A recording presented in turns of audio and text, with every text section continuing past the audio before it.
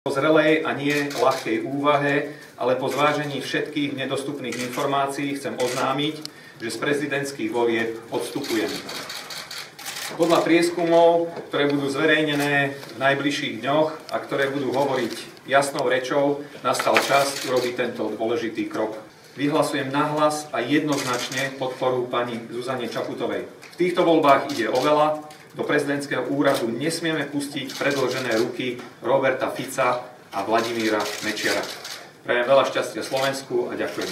Predovšetkým chcem povedať jedno veľké ďakujem.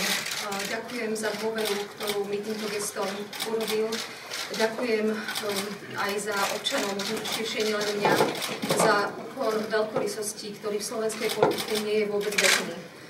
Je vynimočné, že niekto povýši spoločenský záujem nad svoj vlastný a v tomto zmysle si rozhodnutie pána ministrika nesmierne vážim. Uh, chápem to tak, že nie je automatické, že dôvera jeho voličov sa pretaví do dôveru vo mňa. Viem, že sa o túto dôveru jeho voličov bude musieť usilovať. Vnímam to tak, že do postela sme išli ako keby vedľa seba dva prúdy do toho istého cieľa a po dnešku sa táto energia môže spojiť a zásobiť.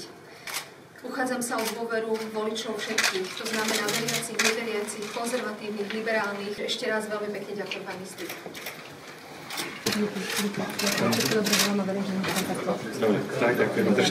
Dobrú noc a veľa šťastia.